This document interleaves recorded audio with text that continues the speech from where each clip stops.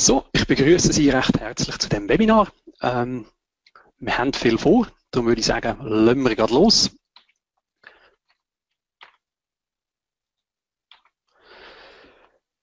In dem heutigen Webinar geht es eigentlich darum, äh, um durchgängige Geschäftsprozesse in Zeiten von stetigem Wandel. Ähm, Im Fokus liegen da sicher mal verschiedene Microsoft-Tools, die da einem einen gewissen Nutzen bieten können. Von dem, was Sie heute erwartet, sieht es etwa so aus. Da wäre die kurze Agenda. Ich gebe am Anfang ein bisschen wichtige Informationen über das Webinar, wo man ein bisschen wissen muss, falls man sich mit Webinars noch nicht so auskennt. Dann sicher mal ähm, kurz einen Block über, was sind die Herausforderungen, die Unternehmen heute damit ein bisschen zu kämpfen haben. Digitalisierung, stetiger Wandel, fehlende Schnittstellen und so weiter.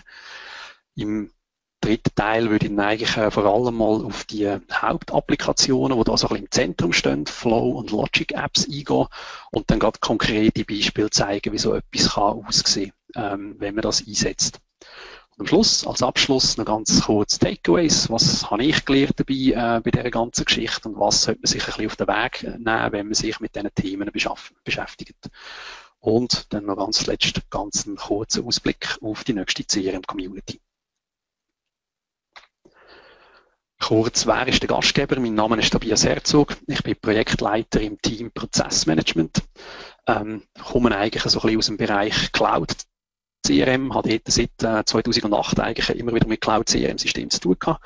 Seit 2012 bin ich vor allem mit Dynamics CRM oder Dynamics 365 unterwegs. Habe Erfahrung in diversen Branchen, Bildungsbereich, äh, Health, Medical Goods, Grosshandel, Dienstleistung, quer durchs Band durch. Und vielleicht zu mir persönlich zu sagen, ich freue mich immer über neue Möglichkeiten, ähm, im Sinn von, wenn neue Tools auf den Markt kommen, neue Arten, wie man Tools kann kombinieren kann. Und das ist dann auch der Grund gewesen, wieso ich eigentlich auf das Thema äh, in dem Webinar komme. Das werden Sie dann sicher noch sehen, was es da alles für neue Möglichkeiten gibt.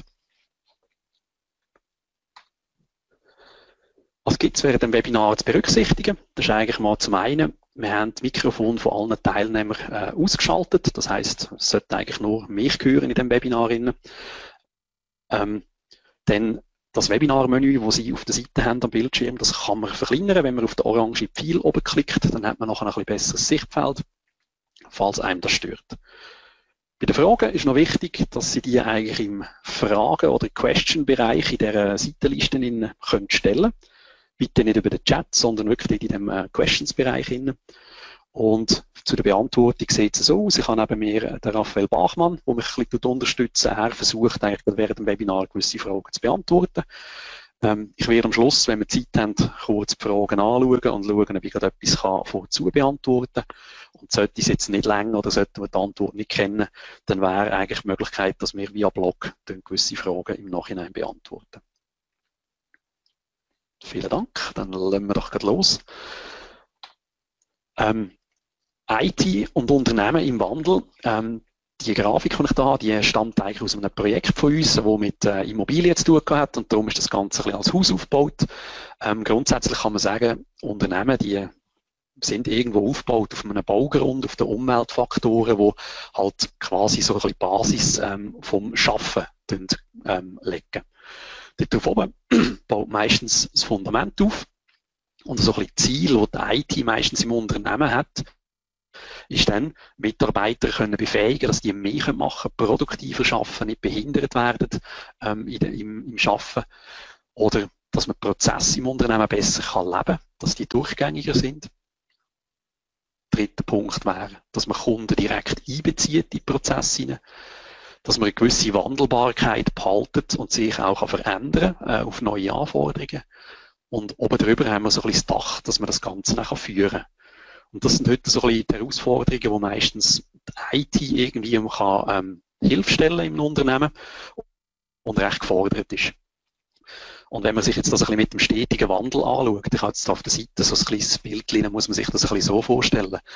Durch das, dass sich Sachen viel öfters und viel schneller verwandeln, ist das so ein bisschen wie auf dem Bild. Man muss sich oben dran immer wieder ein bisschen ausbalancieren oder verändern, damit man ähm, stabil steht auf dem Grund oben.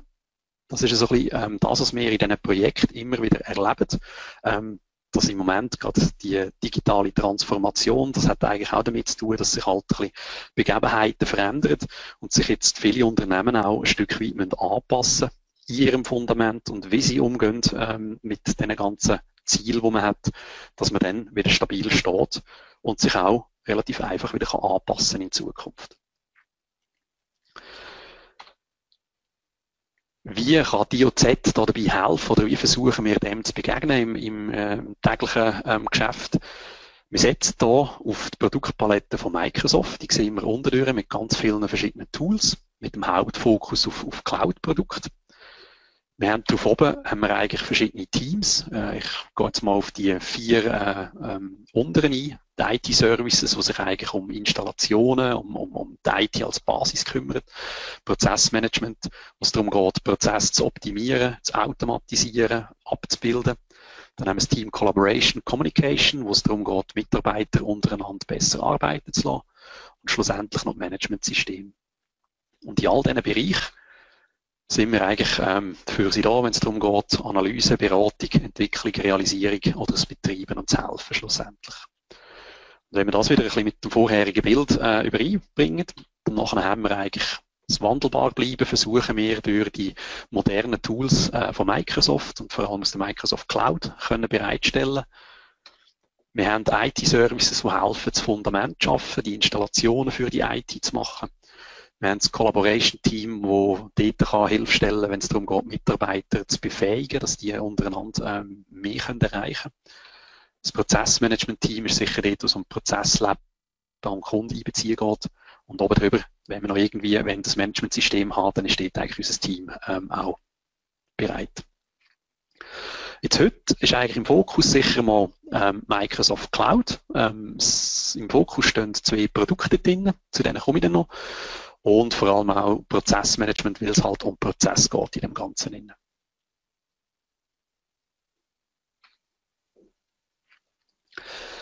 Kurz gesagt, was wünscht man sich? Ähm, in der IT ist das eigentlich meistens das, die eierlegende Wollmilchsau. Das heißt, man wette gern ein System für alles. Die Vorteile sind natürlich klar. Man hat einen relativ geringen Koordinationsaufwand dort drin. Man braucht nicht irgendwie Schnittstellen zwischen zeitverschiedenen Systemen und so weiter. Ähm, es ist wahrscheinlich auch günstiger, als wenn man ganz viele verschiedene Systeme muss betreiben Und wenn man sich es jetzt als, äh, ich sage jetzt mal, ein Tier in einem Stall vorstellt, dann ist es eigentlich auch platzsparend, weil man nicht ganz viele verschiedene Server braucht für verschiedene Systeme, sondern man hat eigentlich ein System, wo das drauf läuft. Das sind ideale Voraussetzungen für durchgängige Prozesse. Ähm, ja, Sie können sich vorstellen, wieso dass das ideale Voraussetzungen sind. Jetzt entspricht das nicht ganz dem, was wir eigentlich immer wieder antreffen, wenn wir mit, äh, mit Kunden zu tun haben, sondern die sieht es eigentlich äh, immer anders aus. Man hat hier zum einen vielleicht ein ERP-System vorhanden, ähm, ein Tool für Collaboration und Document Management, häufig vorhanden oder äh, in der Einführung ist ein CRM-System und meistens findet man auch irgendwo Marketing-Automatisierungstool, äh, wo dort eine Rolle spielt. Sie können sich vorstellen, ähm, das ist ein bisschen für durchgängige Prozesse ist das ein bisschen eine schwierige Voraussetzung. Ganz einfach. Erstens mal platzsparend ist es nicht, wenn man für alles muss äh, eine eigene, ähm, also, wie soll ich sagen, einen eigenen Stall haben preiswert, wenn man verschiedene Systeme mit verschiedenen Lizenzen muss betreiben ist auch nicht optimal. Und Sie können sich vorstellen, der Koordinationsaufwand, wenn man die verschiedenen Tools miteinander reden lassen, die verschiedenen Systeme, dann nachher, äh, ist man auf relativ viele Schnittstellen angewiesen, die immer äh, auch mit Kosten verbunden sind. Jetzt könnte man sagen, ja, wir können Trübsal blasen, wir sind noch nicht in der, in der schönen neuen Welt, wo alles in einem System innen ist. Aber ich möchte da eigentlich sagen, ähm, es ist nicht Hopfen und Malz verloren. Aus meiner Sicht das Argument mit platzsparend, wenn man jetzt mit Cloud-Tools zu tun hat, eigentlich nicht so ähm, schlimm. Weil in der Cloud gibt es genug Platz für verschiedene Systeme. Man muss sich ja nicht um die ganzen Server und so weiter kümmern, die im Keller stehen. Preiswert, wenn man die, die Sachen, die man mit Lizenzen bekommt, effizient nutzt und für verschiedene Sachen nutzt, sind die Cloud-Angebote auch sehr preiswert. Und der Koordinationsaufwand, und da kommen wir jetzt gerade dazu, ähm, der ist bis jetzt manchmal ein bisschen schwierig gewesen. Wir mussten fixe Schnittstellen zwischen den einzelnen Systemen bauen. Schön wäre es da eigentlich, wenn man in der Mitte jemanden hätte, der einem das Ganze ein bisschen koordiniert untereinander. Und auf dem an würden wir uns jetzt ein bisschen fokussieren, weil das sind eigentlich die beiden Tools, äh, die ich genannt habe. Das wären Flow und Logic App. Sind eigentlich die Tools, die die Rolle von dem Man in the Middle einnehmen, wo die ganzen Tools miteinander verbinden und äh, miteinander koordinieren. Wenn man das IT-technisch ein bisschen würde anschauen dann würde das ein bisschen so aussehen. Man hat vielleicht oben dran ein, ein ERP-System, man hat ein, ein, SharePoint, man hat Dynamics 365 vielleicht für den CRM-Bereich und, und Mailchimp ähm, für den Marketing-Bereich. Und da ist es eigentlich so, ähm, dass wir jetzt die beiden Tools, Flow und Logic Apps, in der Mitte hätten, die können gewisse Schnittstellenfunktionen zwischen diesen Tools übernehmen. Gut. Vielleicht kurz, wie funktionieren die beiden Tools, äh, damit man sich das vorstellen kann. Ähm, das geht um sogenannte Trigger und Action. Das heißt, man hat einen Auslöser im einen System. Da könnte jetzt da als Beispiel, wenn im SharePoint ein neuer Listeneintrag erstellt wird, in irgendeiner Liste, dann wird als Aktion im anderen System ähm, etwas ausgeführt. Das heißt, jetzt da könnte zum Beispiel ein neuer Datensatz in Dynamics 365 angelegt werden. Das tönt jetzt da relativ simpel, aber wenn Sie sich vorstellen, wenn Sie das plötzlich zwischen ganz vielen verschiedenen Tools machen können, dann ergänzen sich daraus relativ schöne Kombinationen. Ähm, Microsoft sind nicht die ersten, die mit so einem System arbeiten. Da gibt es eigentlich andere Vorreiter, die schon viel länger am Markt sind, wie zum Beispiel ähm, Zapier. Das gibt schon lange, die haben sehr viele Konnektoren. Aber was da jetzt sicher speziell ist, äh, bei Flow und Logic Apps, das ist erstens gerade integriert in Microsoft Cloud. Man kommt es teilweise gerade schon mit über, wenn man die richtigen Lizenzen hat und es bietet auch gute Konnektoren zu äh, den Microsoft Tools. Das sind eigentlich die Vorteile. Und jetzt, wie gesagt, stellen Sie sich vor, Sie haben etwa 150 verschiedene Konnektoren und können da zwischen denen verschiedene Aktionen automatisieren. Dann ergänzen sich doch die ein oder andere spannende Möglichkeiten. Ich habe jetzt hier zwei ganz einfache Beispiele drin. Ähm, Jotform ist also ein Dienst, wo man einfach ein Webformular machen kann, wo man auf der eigenen Webseite einbinden kann. Äh, stellen Sie sich vor, wenn dort jemand etwas einträgt auf so einer Webform, dann wird das automatisch in einer SharePoint-Liste gespeichert. Ähm, das ist eine häufige Anforderung bei vielen Unternehmen, dass man eigentlich die Sachen, die über Webseiten reinkommen, gerade in ein weiteres System übergibt und dort kann weiter bearbeiten. Andere Variante wäre zum Beispiel die da, wenn in Dynamics 365 oder im CRM ein neuer Datensatz äh, angelegt wird, dann wird automatisch ein SMS versendet über Twilio. Das ist so ein SMS-Versenddienst. Auch das eine sehr spannende Kombination. Das sind jetzt wirklich sehr einfache Beispiele da drin. Und die weiteren Beispiele, die ich jetzt eigentlich dazu komme, das sind dann sicher solche, die schon ein bisschen komplexer sind, aber nicht unbedingt mega komplex. Ich möchte zuerst noch schnell äh, aufs Thema kommen, was ist eigentlich der Unterschied zwischen Flow und Logic Apps oder was sind Gemeinsamkeiten? Ähm, wieso gibt es da zwei Tools? Es ist eigentlich so, dass Flow ist auf Basis von Logic Apps gebaut worden. Das heißt, das eine baut auf dem anderen auf. Sie haben beide den gleichen Workflow-Designer, um die, die Systeme miteinander zu verknüpfen. Und Konnektoren, die in der einen Anwendung funktionieren, können auch in der anderen funktionieren.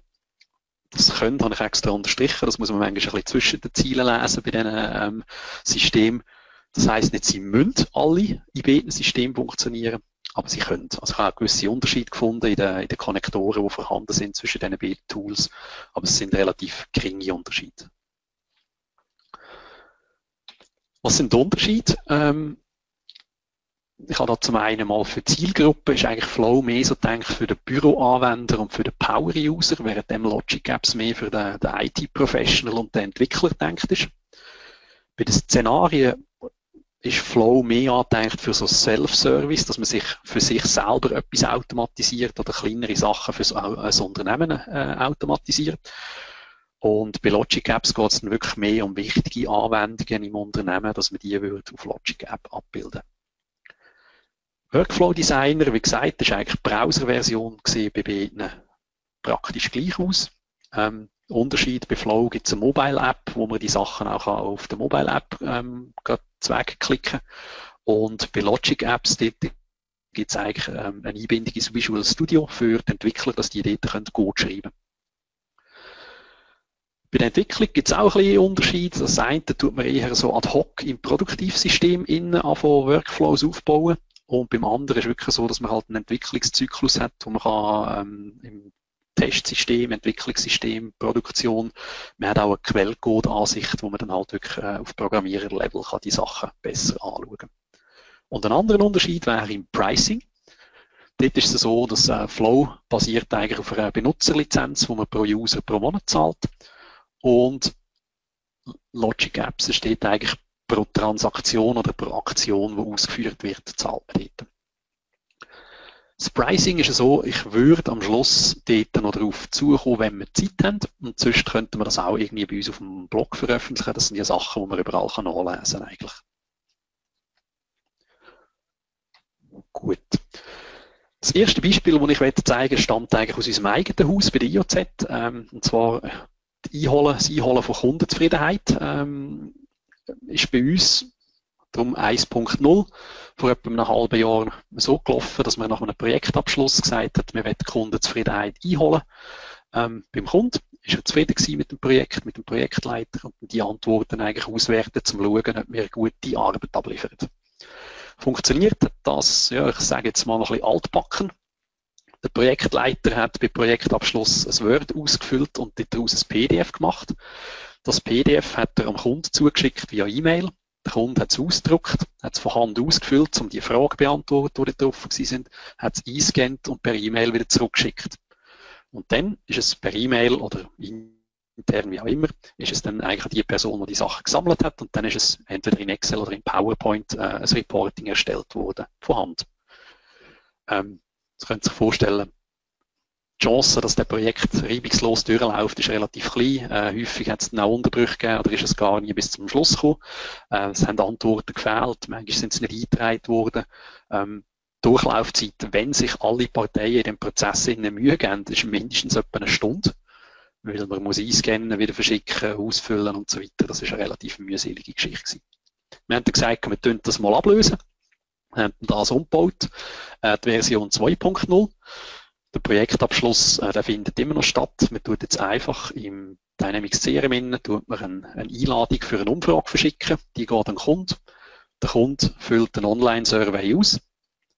Die Antwort kommt zurück und kann im CRM ausgewertet werden. Das ist der aktuelle Stand, wie das heute bei uns läuft. Und dann ist irgendein ähm, Flow und Logic App ins Spiel gekommen. Man hat sich auch überlegen, ja, jetzt fängt man träumen. Also grundsätzlich ist das schon mal eine gewaltige Verbesserung gegen früher. Teilweise ist der Prozess, so wie er jetzt da steht, fünf Minuten, dann ist der durch, hat man die Antwort vom Kunden. Ähm, man fährt jetzt ein bisschen auf träumen, wie könnte man jetzt das noch ein bisschen erweitern. Da wären wir jetzt bei der Version 4.0. Äh, 3.0, von dem redet ja eh niemand mehr. Darum, die Version 4.0 ist dann eigentlich so gewesen, ja, wenn man schon gute Arbeit abliefert, dann soll man auch stolz sein und sich darüber freuen und die, die Info teilen. Also das heißt, äh, tu Gutes und sprich darüber. Und das Beispiel ist jetzt eigentlich da die Erweiterung, dass man sagt, ja, wenn so eine Antwort reinkommt im CRM, dann kommt eigentlich zuerst gerade mal eine Anfrage an den, der die Umfrage verschickt hat. Willst du die gute Nachricht im Unternehmen teilen? Ja oder nein? Und wenn er Ja sagt, dann wird das gerade auf Yammer im Unternehmensnetzwerk veröffentlicht. Wie sieht das aus? Ähm, ganz einfach, das ist unser CRM-System. Man kann dort drinnen auf eine Kontaktperson eine Survey-Activity verschicken. Der Kunde bekommt eine Online-Umfrage, die er schnell ausfüllen kann und unten auf äh, Senden drücken. Die Antwort kommt zurück ins CRM. Man sieht gerade, was da geantwortet worden ist.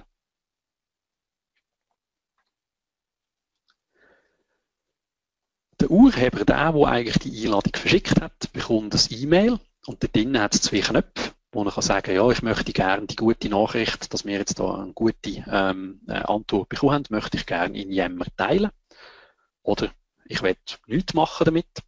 Er hat auch dort die Möglichkeit, gerade via Link auf die Response zu springen im CRM. Das ist eigentlich alles miteinander verknüpft. Und schlussendlich kommen dann die ganzen Informationen ins Yammer rein. Das heisst eigentlich, man hat zwei, drei Klicks beim Versenden von der Umfrage und man hat noch einen Klick zum sagen, man will, dass das im Unternehmensnetz teilt wird und mehr Interaktionen braucht es eigentlich dem Ganzen nicht. Etwas habe ich noch vergessen. Das Reporting darf natürlich auch nicht fehlen.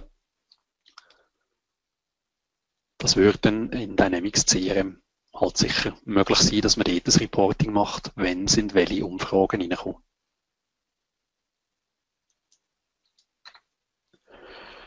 Das wäre der Zeitpunkt, wo ich würde sagen, ich gehe mal ein bisschen weg von den Slides und ich gehe mal ins System rein, schauen, wie das aussieht. Ich würde jetzt in dem Fall, würde ich jetzt gerade ähm, ins äh, Logic App oder ins Azure Portal einsteigen. Das heißt, Logic App ist Bestandteil von Azure und ich muss zuerst aufs Azure Portal, um dort dann eigentlich so Logic Apps können zu erfassen. Und ich würde jetzt gerade dort reingehen.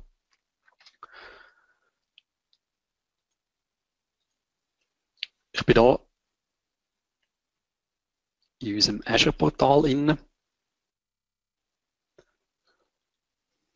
Kann sein, dass es ein bisschen Verzögerung gibt mit den Bildern und dem Ton. Ich sehe das teilweise nicht ganz so gut, wie schnell dass da die Folien eben reinspringen. Äh, ich sehe nur, dass es ein bisschen ähm, Rückstand hat. Darum, ich versuche ein bisschen langsamer zu reden. Wir haben da innen haben wir ganz viele Sachen in Azure, ähm, die verschiedenen Dienste, die man da aufschalten kann.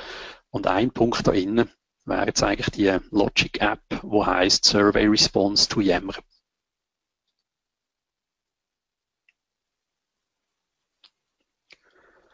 Da innen hat man einen kurzen Überblick über, ähm, wann sind die, die Automatismen abgelaufen, wann sind sie übersprungen worden. Man hat da so ein bisschen Informationen und kann da innen dann eigentlich die Logic App bearbeiten.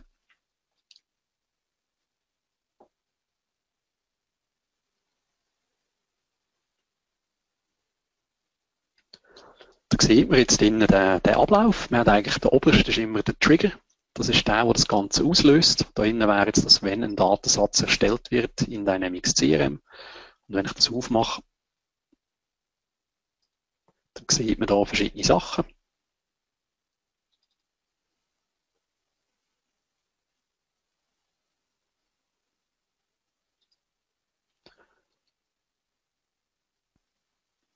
Zum Beispiel, äh, um welche Organisation handelt es sich und um welche Entität geht es eigentlich äh, im Dynamics CRM innen und wie häufig soll die Abfrage durchgeführt werden.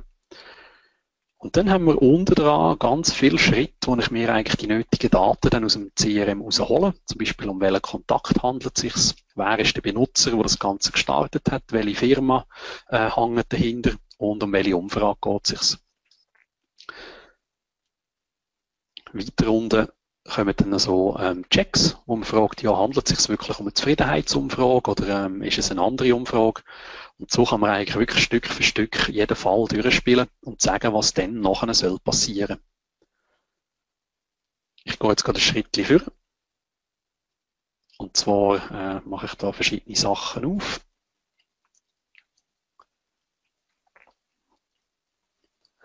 Wenn gewisse Bedingungen erfüllt sind, eben in dem Fall wäre es zum Beispiel, wenn sich der Kunde als zufrieden gemeldet hat, dann gibt es am Schluss ein Genehmigungs-E-Mail und wenn das mit positiver Antwort zurückkommt, dann wird ganz am Schluss eigentlich eine Yammer-Nachricht gepostet. Jetzt können wir uns noch schnell die ähm, Yammer-Nachricht ein bisschen anschauen. Kann man dann wirklich eigentlich für die verschiedenen Felder, wo es in so einer Yammer-Nachricht oder in so einem Yammer-Post gibt, kann man dann äh, den Text zusammenbauen mit Bestandteil aus vorherigen Schritten eigentlich direkt. Und das ist eine ziemlich coole Geschichte, weil man einfach aus vorherigen Schritten Daten verwenden und die wieder äh, weitergeben in irgendeiner Form. Was ich vorhin noch gesagt habe, ist, man hat hier eine Code-Ansicht. Das heißt, für den Entwickler gibt es auch noch die Ansicht, dass er eigentlich direkt im Quellcode arbeiten kann. Die sehen wir jetzt in dem Moment hier.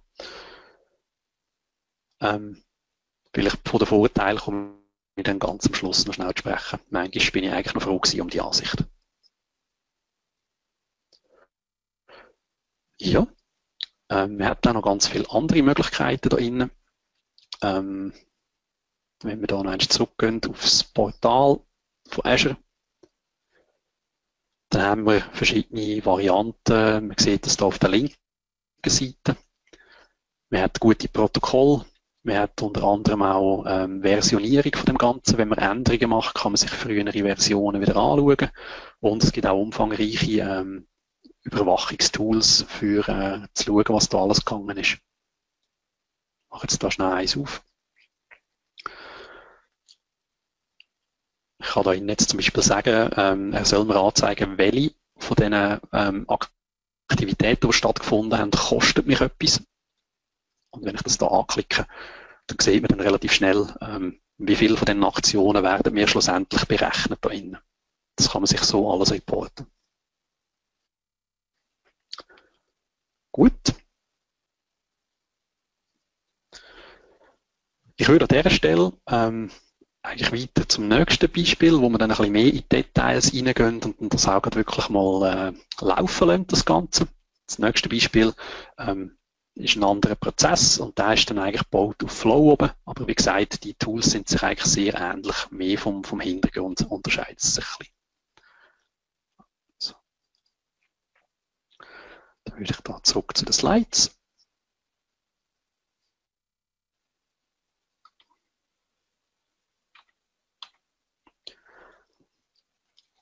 Das zweite Beispiel, das ich da vorbereitet habe, das geht um Innovationsideen oder äh, Produktverbesserungen oder Unternehmensverbesserungen. Das kennt man oft. Ich habe das früher auch angetroffen.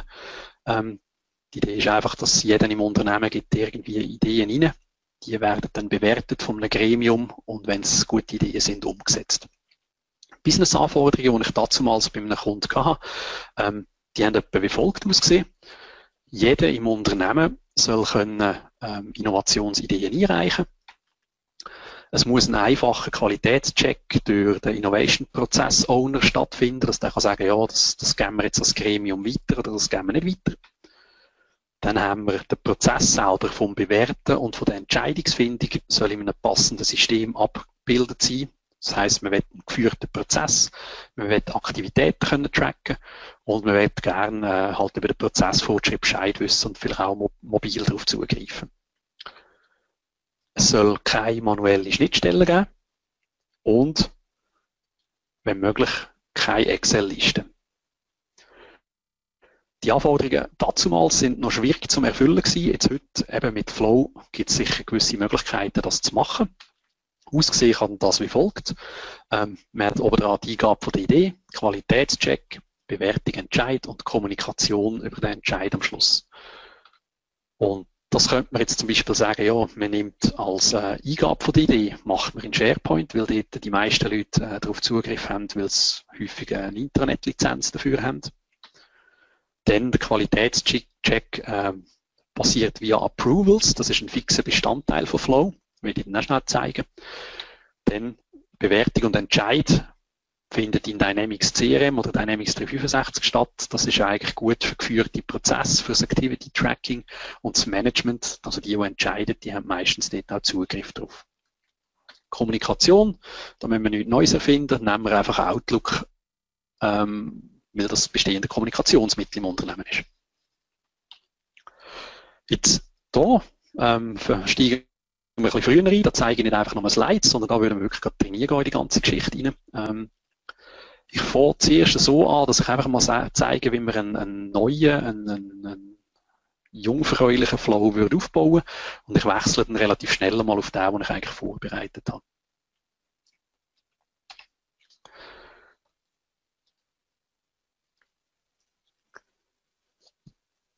Basis von dem Ganzen ist eigentlich ähm, jetzt eine, eine, Liste in SharePoint. Ich nenne, habe ich da Innovationsideen genannt und man kann da einfach neue Items hinzufügen. Ein Flow. Ähm, Flow, wie gesagt, ist Bestandteil von Office 365. Das heißt, man kann eigentlich über die Navigation von Office 365 kann man auf Flow wechseln und sagen, ich möchte gerne mal meine Flows anzeigen. Und da kann man dann auch sagen, ich möchte gerne einen neuen, äh, einen, von, von null eigentlich einen neuen Flow anlegen. Das mache ich jetzt da mal schnell. Dann muss man eigentlich auswählen, ähm, einen Trigger. Irgendetwas, was das Ganze auslöst. In unserem Fall wäre das mal SharePoint. Und da kann man sagen, ähm, das soll ausgelöst werden, wenn ein neues Item in SharePoint entsteht.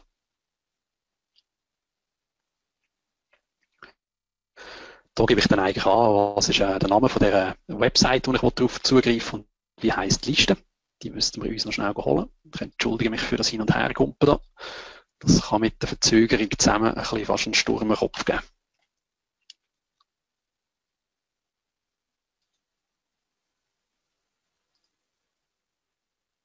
So.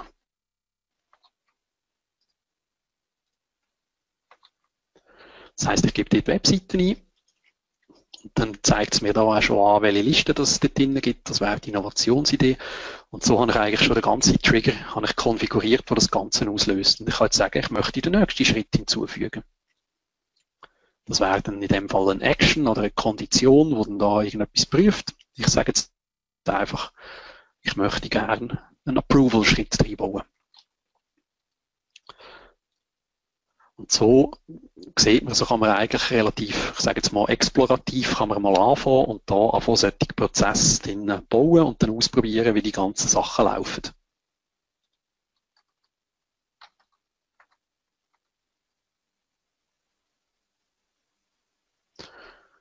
Das wäre da der Connector Approvals. Das ist wie gesagt ein Bestandteil von Flows, wo es darum geht, irgendjemand äh, um seine Genehmigung zu fragen. Den kann ich da einfügen. Jetzt muss ich dem einen Titel geben. Am besten nehme ich einfach äh, den, den Namen von der Idee, die eingegeben worden ist, aus SharePoint. Zum Beispiel da.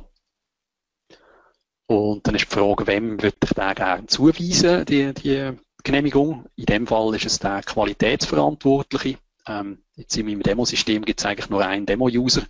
Darum muss ich fast den nehmen. Und dann habe ich die Möglichkeit, ihm noch irgendwie einen Text hinzuzufügen oder einen Link, der dann eigentlich dort eine Rolle spielt. Und so sieht man, das ist relativ einfach, um das mal aufzubauen. Ähm, das mit dem relativ einfach muss man einfach wissen. Man muss schon ein bisschen Bescheid wissen über die verschiedenen Systeme, dass man sich dann da innen eigentlich auch ein bisschen zurechtfindet. Ich würde jetzt von dieser Stelle, würde ich jetzt eigentlich gerade ähm, in den, den ich vorbereitet habe, überspringen, damit wir da nicht zu viel Zeit verlieren. Wir haben da schon eine Flow-Innovationsidee. Äh, man sieht da ein bisschen Zusammenfassung, was es da schon alles für Runs gegeben hat, wenn der gelaufen ist. Man sieht da oben, ähm, was da so ein bisschen für Tools drin vorkommen und ich kann den da innen auch editieren. Und der Designer ist immer noch genau der gleiche. Und da ist es wirklich so, ähm, ich habe den so aufgebaut, eine neue Innovationsidee kommt rein. Es findet der Qualitätscheck statt. Wenn der Qualitätscheck okay ist, dann wird ein neuer Datensatz in Dynamics CRM angelegt. Wenn ähm, der Datensatz dann einen gewissen ähm, Status erreicht, also wenn er genehmigt worden ist im CRM, dann passieren da unten eigentlich weitere Schritte. Wenn der angenommen worden ist oder abgelehnt worden ist, wird dann eigentlich das Resultat zuerst mal zurückgemeldet in die Liste in SharePoint. Und wenn er angenommen worden ist, dann schickt man eigentlich noch ein E-Mail raus an den, der ursprünglich die Idee aufgegeben hat. Das sind eigentlich all die Schritte, die da innen stattfinden. Und so würde ich das eigentlich gerne schnell durchspielen, dass das auch wirklich äh, funktioniert. Jetzt äh, muss ich ein bisschen den Daumen drücken. Alle die, die zulassen, bitte Daumen drücken. Ähm, ich habe hier die SharePoint-Liste. Ich würde jetzt eigentlich sagen, ich führe da mal ein neues, äh, eine neue Idee hinzu. Ich sage jetzt dem ähm, neue Workflows für Verkauf. Da könnt ihr da eine Beschreibung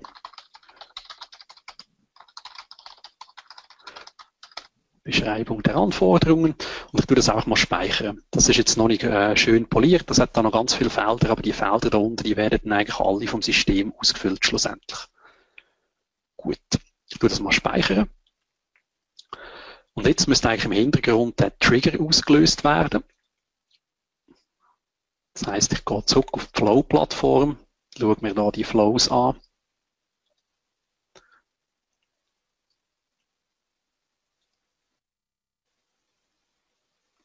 Und da sieht man jetzt eigentlich schon, da hat es jetzt einen, der am Laufen ist, da unten in der History innen, Running. Da sieht man schon, da ist jetzt einer drin. Man kann den auch nachverfolgen, in welchem Schritt das sich da jetzt befindet. Ähm, logischerweise müsste jetzt eigentlich der mal beim Qualitätscheck äh, hängen geblieben sein. Ähm, weil jetzt muss eigentlich zuerst der Qualitätsverantwortliche sagen, ob das eine Idee ist, die als Gremium soll übergeben werden. Und das haben wir gesagt, das funktioniert auf, äh, auf Approvals in Flow. Da dazu gehe ich schnell einen äh, Tab über. Approvals ist wie gesagt ein Bestandteil von Flow. Ähm, es gibt für das eine Mobile-App, wo man sich die Approvals kann anzeigen kann. Und es gibt jetzt auch hier im Browser eigentlich so wie ein Dashboard, was muss man alles, ähm, was muss man alles bewilligen. Wenn ich das schnell refreshen tue, dann sieht man da wahrscheinlich auch, dass der auftaucht von der Innovationsidee. Das wäre der ganz ähm, rechts hinten. Und ich als Approver kann jetzt sagen, ja, finde ich eigentlich eine gute Sache, ich möchte den gerne ähm, annehmen.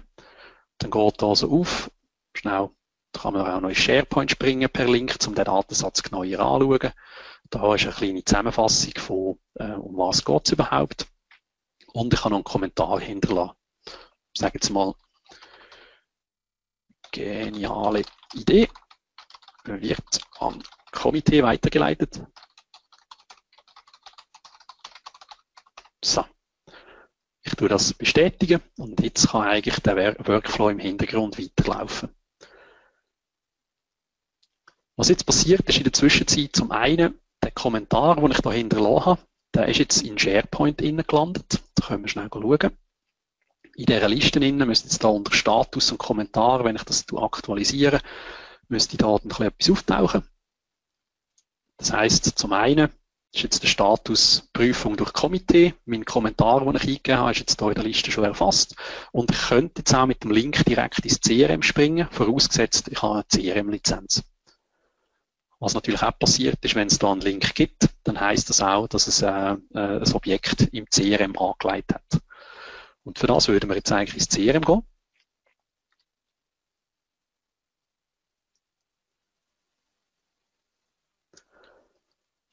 Da innen habe ich eigentlich auch im Voraus ein Objekt angelegt oder eine Entität, die heißt Innovationsideen. Wenn ich da die Liste schnell erneuere, dann taucht jetzt da die Idee auf, die wir in SharePoint eingegeben haben. Ich öffne die kurz und habe da innen den Prozess fürs Management und fürs Komitee, wo Sie eigentlich können oben dran durch den geführten Prozess gehen. Sie können mal sagen, Sitzungsdatum, ähm, wir tun das in der Sitzung behandeln am 31. Dazu brauchen wir GL und IT äh, und den Verkauf. Da können wir einen Schritt weiter gehen. Bewertung von dem Ganzen, das, werden, das würde während dem Meeting stattfinden. Man kann sagen, ja, das ist eine wirtschaftliche Idee. Also, das ist ein Zahlsbeispiel. Ähm, könnt auch noch das Budget eintragen für das Ganze. Da können Sie sich irgendetwas vorstellen, da ist man wirklich frei in der ganzen Geschichte. Wichtig ist auch, wir könnten in der Mitte Aktivitäten, E-Mails anhängen. Das ist alles möglich, weil das Standardfunktionalität ist vom CRM.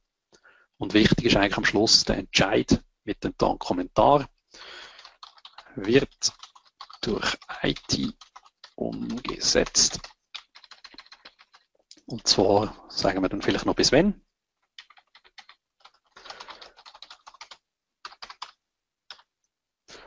Und können dem Entscheiden einen Status geben als angenommen. Und sobald ich das speichere, geht der Workflow wieder weiter im Hintergrund. Äh, was jetzt passiert, ist eigentlich, wenn wir zurückgehen auf die Liste da in SharePoint, dann wir die schnell aktualisieren. Da sieht man schon da, ähm, erstens mal, der Status hat sich verändert auf angenommen. Der Kommentar ist jetzt der, der direkt aus dem CRM kommt, vom Gremium, wird durch IT umgesetzt bis Ende 2017.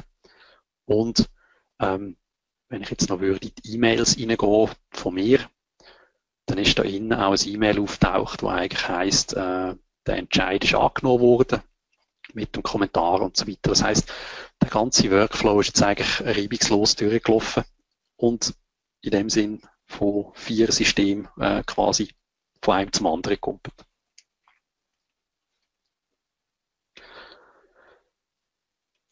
Ja, ähm, das wäre so ein bisschen der, Teil von meiner Demo gewesen. Ich tue jetzt mal schnell schauen, ob ich noch irgendwelche Slides verpasst habe. Genau, wir haben eigentlich ähm, vor allem die Sachen, die ich ein bisschen gelernt habe bei dieser ganzen Geschichte, wo ich die Sachen konfiguriert habe. Tue das noch einmal aufschalten. Äh, ich habe es ein bisschen negativ und positiv äh, aufgebaut, was einfach sicher der Fall ist. Man hat relativ viel Trial und Error, also ich habe relativ viel müssen probieren, starten, verändern und wieder neu anfangen. Das ist äh, relativ viel der Fall gewesen. Ähm, drückt mich aber eigentlich normal bei solchen Workflow-Geschichten, dass man das relativ häufig so muss durchspielen. Der Punkt zwei ist es so, dass ähm, Dokumentation von diesen Konnektoren, von den Funktionen, die ist im Moment noch etwas dürftig, könnte man sagen. Und darum ist dann halt auch besonders viel Trial and Error gefordert, weil man nicht irgendwie auf einfache Art und Weise kann anlesen kann, wie gewisse Sachen müssen gemacht werden. Dann vielleicht das mit dem Power-User oder Business-Anwender, das ist okay, wenn man ganz einfache Flows machen will. Ähm, das Beispiel wäre, ich werde das SMS bekommen, wenn mein Chef mir ein E-Mail schickt. Das ist relativ einfach zu machen. Das könnte wahrscheinlich äh, jeder machen in dem System. Aber ähm, ein bisschen komplexere Geschichten wie jetzt hier, die erfordern schon ein bisschen mehr IT-Know-how und vor allem das Know-how von den einzelnen Systemen, weil man halt dann auch gewisse Sachen gerade in diesen Systemen muss zweglegen, dass dann das richtig funktioniert.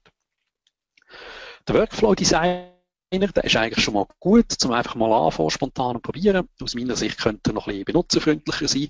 Ähm, es gibt teilweise Probleme mit Copy-Paste und so weiter, die ein bisschen mühsam sind, weil man dort relativ schneller arbeiten könnte, wenn das richtig funktioniert. Und dann, ähm, es gibt noch nicht so viele Konnektoren wie bei der Konkurrenz. Es sind im Moment irgendwie 153, 152 Konnektoren, die es gibt. Ähm, genau. Dann möchte ich aber eigentlich nicht zu lange auf die negativen Sachen umreiten, sondern mehr zu den positiven kommen. Ähm, die Zahl der Konnektoren, die wächst rasant. Das ist genial und ich hoffe, dass Microsoft jetzt schön weitermacht. Denn was eigentlich einzigartig ist unter diesen Tools, wie gesagt, zu der Konkurrenz, ist äh, Konnektoren für Microsoft-Applikationen. Das fehlt meistens bei der Konkurrenz oder ist nicht so auf, ausgereift, währenddem sie da eigentlich schon relativ gut funktionieren. Denn einfache Anforderungen können schnell und kostengünstig umgesetzt werden. Wie gesagt, Flow, ähm, das ist bei vielen Lizenzen schon beinhaltet. Und man kann einfach gerade eigentlich loslegen, um Sachen so ein bisschen versuchen umzusetzen. Ich denke jetzt, die beiden Applikationen sind jetzt im ersten Moment nicht das Ziel, dass man alle businesskritischen Schnittstellen mit denen ablöst, sondern es geht mehr um einfache Anforderungen, die im Unternehmen bestehen, aber bis jetzt einfach aufgrund von, von Kostendruck und so nicht haben können umgesetzt werden, weil einem Tools gefehlt haben. Und dort sehe ich eigentlich jetzt im ersten Moment den grössten Vorteil, dass man dort relativ schnell aufräumen kann, mit so einfachen Prozessen, wie ich es jetzt da eigentlich gezeigt habe. Schön ist auch, es gibt eine Mobile-App für Genehmigung äh, und äh, für das Starten von Flows. Das heißt, ich kann mir die Genehmigung, die ich vorher gemacht habe, auf dem Board, wo ich da all die Sachen habe, das kann ich auch äh, in der Mobile-App innen dann gerade abarbeiten und die Sachen genehmigen. Das Kopieren von formatierten Text und so weiter, das ist wesentlich einfacher, wenn man eine Code-Ansicht hat. Also das wäre in Logic Apps ist das teilweise einfacher, weil man dann wirklich in der Codieransicht kann einen Bestandteil kopieren.